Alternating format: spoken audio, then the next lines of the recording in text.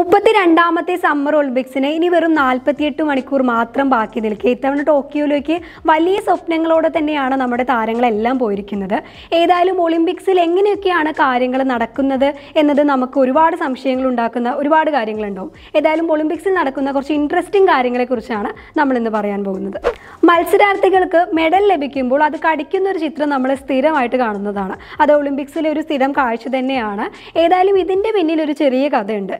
പണ്ടൊക്കെ പഴയ കാലത്ത് ഈ സ്വർണ നാണയങ്ങളൊക്കെ ഉപയോഗിച്ചിരുന്ന സമയത്ത് അന്നത്തെ വ്യാപാരികൾ ഇത് സ്വർണം തന്നെ ഈ വസ്തു സ്വർണം തന്നെയാണോ എന്ന് ഉറപ്പുവരുത്താൻ വേണ്ടി ഇത് കടിച്ചു നോക്കുമായിരുന്നു. സ്വർണമാണ് എന്നുണ്ടെങ്കിൽ ആ വസ്തുവിൽ എന്തുണ്ടാവില്ല? ആ പല്ലിന്റെ പാടുണ്ടാവില്ല. അന്ന് അതൊരു സംശയത്തിന്റെ പുറത്ത് ചെയ്താണെങ്കിൽ ഇന്ന് അവർ ഇതൊരു സെലിബ്രേഷന്റെ ഭാഗമായിട്ടാണ് ചെയ്തുകൊണ്ടിരിക്കുന്നത്. ഇനി നമ്മൾ നേരത്തെ പറഞ്ഞ സ്വർണ മെഡൽ ഇത് ശരിക്കും സ്വർണമാണോ എന്നുള്ളത് പലർക്കും സ്വാഭാവികമായിട്ടുണ്ടാവുന്ന ഒരു സംശയമാണ്. ഈ സംശയിച്ചവരുടെയൊക്കെ ആശങ്ക ശരിയാണ് എന്നുള്ളതാണ്. ഇപ്പോൾ ഒളിമ്പിക്സിൽ നൽകിക്കൊണ്ടിരിക്കുന്ന സ്വർണ മെഡൽ പ്യൂർ ഗോൾഡ് അല്ല. അതിൽ ആറ് ഗ്രാം മാത്രമേ സ്വർണമുള്ളൂ ബാക്കിയുള്ളത് സിൽവർ ആണ്. മെജോറിറ്റി പോർഷൻ സിൽവർ ആണ്. ഒരു ഗോൾഡ് പ്ലേറ്റിംഗ് ഉള്ള സിൽവർ മെഡൽ എന്ന് നമുക്ക് ചുരുക്കത്തിൽ പറയേണ്ടി വരും. ഇത് ഇപ്പോൾ തുടങ്ങിയ പരിപാടിയാണ്. പണ്ട് ആയിരത്തി തൊള്ളായിരത്തി പന്ത്രണ്ട് വരെ റിയൽ ഗോൾഡ് തന്നെയാണ് കൊടുത്തുകൊണ്ടിരിക്കുന്നത്. അപ്പോൾ നമ്മൾ കണക്കുകളൊക്കെ പരിശോധിക്കുമ്പോൾ ഒരു ഒളിമ്പിക്സിൽ തന്നെ ഒരു ആയിരത്തോളം മെഡലുകളാണ് നൽകിക്കൊണ്ടിരിക്കുന്നത്. ഇപ്പോൾ നമ്മൾ രണ്ടായിരത്തി പതിനാറിലെ റിയോ ഒളിമ്പിക്സ് നോക്കുകയാണെങ്കിൽ മുന്നൂറ്റിയേഴ് ഗോൾഡ് മെഡൽ നൽ- നൽകിയിട്ടുണ്ടായിരുന്നു. അപ്പോൾ ഇത് മൊത്തം പ്യുവർ ഗോൾഡ് നൽകുക എന്ന് പറയുന്നത് പ്രായോഗികമല്ല എന്ന് നമുക്ക് മനസ്സിലാക്കാം. അടുത്തതായിട്ട് നമുക്ക് കൗതുകം തോന്നുന്ന ഒരു കാര്യമാണ് ഒളിമ്പിക്സ് ടോർച്ച് അല്ലെങ്കിൽ ഒളിമ്പിക്സ് ദീപശിഖയിലുള്ള ഫ്ലെയിം എപ്പോഴും ഇങ്ങനെ കത്തിക്കൊണ്ടിരിക്കുകയാണോ? അതോ ഇത് അണച്ചു വെക്കാറുണ്ടോ? അതൊക്കെ നമുക്ക് നോർമലായിട്ട് തോന്നുന്ന ഡൗട്ടാണ് അപ്പോൾ നമ്മൾ സയന്റിഫിക് ആയിട്ട് അല്ലെങ്കിൽ ഇപ്പോൾ ഇത്രയും ടെക്നോളജി ഒക്കെ വളർന്ന സ്ഥിതിക്ക് ഇത് എപ്പോഴും കത്തിച്ചുകൊണ്ടിരിക്കാനുള്ള വകുപ്പുണ്ട് എന്നുള്ളതൊക്കെ നമുക്കറിയാം. നമ്മൾ ആചാരങ്ങൾ വെച്ച് നോക്കുകയാണെങ്കിൽ ഇത് ക്ലോസിംഗ് സെറിമണി വരെ ഈ ദീപം തെളിയിച്ച് അണയ്ക്ക അണയ്ക്കാൻ പാടില്ല എന്നുള്ളതാണ് അതിന്റെ ഒരു കാര്യം. അപ്പോൾ ഈ ഒരു സമയമാകുമ്പോഴത്തേക്കും ഈ ഒരു ഫ്ലെയിം അല്ലെങ്കിൽ ഈ ഒരു ടോർച്ച് ഇരുപതോളം രാജ്യങ്ങളിലും ഒരു ലക്ഷത്തി അൻപതിനായിരം കിലോമീറ്റർ വരെ കവർ ചെയ്തിട്ടുണ്ടാവും. അപ്പോൾ ഈ കാര്യങ്ങളൊക്കെ ഇതിന് പ്രത്യേകമായിട്ടുള്ള ഒരുപാട് ഏറ്റവും ഇൻട്രസ്റ്റിംഗ് ആയിട്ടുള്ളൊരു കാര്യം എന്ന് പറയുന്നത് ഈ ഒരു ഫ്ലെയിം അല്ലെങ്കിൽ ടോർച്ചിനെ മാത്രം ഗാർഡ് ചെയ്യാൻ വേണ്ടി പത്തോളം ആൾക്കാരുണ്ടാവുന്നതാണ് പിന്നെ കുറച്ച് പ്രതിരോധിക്കാനുള്ള അതായത് മഴയായാലും കാറ്റായാലും പ്രതിരോധിക്കാനുള്ള ഒരു കഴിവ് കൂടി ഇതിനുണ്ട്.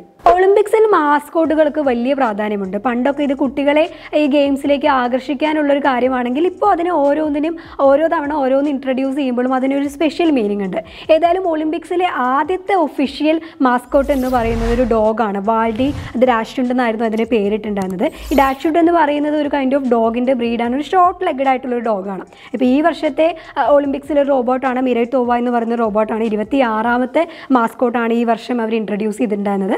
അതിൽ കൂടി ഒരു ജപ്പാനീസ് കൾച്ചറൊക്കെ കൾച്ചറാണ് അവർ ആ ഒരു ആ ഒരു മാസ്കോട്ടിലൂടെ പറയുന്നത്. അത് പണ്ടത്തെ കാര്യങ്ങൾ മനസ്സിലാക്കി പുതിയ ഐഡിയാസ് ഡെവലപ്പ് ചെയ്യുക എന്നുള്ളതാണ് ഇപ്പോൾ നമ്മൾ ആദ്യം പറഞ്ഞു ആദ്യത്തെ ഒഫീഷ്യൽ മാസ്കോട്ട് എന്ന് പറയുന്നത് വാൾഡി ആണെങ്കിൽ കൂടി. അതിനു മുമ്പ് ആയിരത്തി തൊള്ളായിരത്തി അറുപത്തി എട്ടിലെ വിന്റർ ഗെയിംസിൽ ഷുസ് എന്ന് പറയുന്ന ഒരു മാസ്കോട്ട് കൂടി ഉണ്ടായിരുന്നു. ഒളിമ്പിക്സിൽ ഓരോ തവണയും പുതിയ കായിക ഇനങ്ങൾ ആഡ് ചെയ്യലും കുറച്ച് ഇളതിനെ എടുത്ത് കളയിലൊക്കെ പതിവായിട്ടുള്ള ഒരു കാഴ്ചയാണ്. ഇപ്പോൾ പണ്ടുണ്ടായിരുന്ന കുറച്ച് ഗെയിംസ് ആണ് ഈ മോട്ടോർ ബോട്ട് സെയിലിംഗ് അതുപോലെ തന്നെ hot air ballooning tug of war നമ്മുടെ വടംവലിയൊക്കെ പണ്ട് ഒളിമ്പിക്സിൽ ഉണ്ടായിരുന്ന ഒരു കായിക ഇനമായിരുന്നു അപ്പോൾ അതിന് ഔട്ട് ഓഫ് ഫാഷൻ ആയിട്ടുള്ള കുറച്ച് ഗെയിംസ് ഉണ്ട്. റണ്ണിങ് ഡിയർ ഷൂട്ടിംഗ് ഒക്കെ. പിന്നെ ഈ ഗോൾഫ് റബ്ബി തുടങ്ങിയ മത്സരങ്ങളൊക്കെ ആദ്യം ഉണ്ടായിരുന്നു പിന്നെ എടുത്തു കളഞ്ഞു. പിന്നെ വീണ്ടും അതിനെ റീഇൻട്രൊഡ്യൂസ് ഒക്കെ ചെയ്തിട്ടുണ്ടായിരുന്നു. അപ്പോൾ ഈ വർഷവും ഒളിമ്പിക്സിൽ ഒരു നാല് പുതിയ ഐറ്റംസ് ആഡ് ചെയ്തിട്ടുണ്ടായിരുന്നു.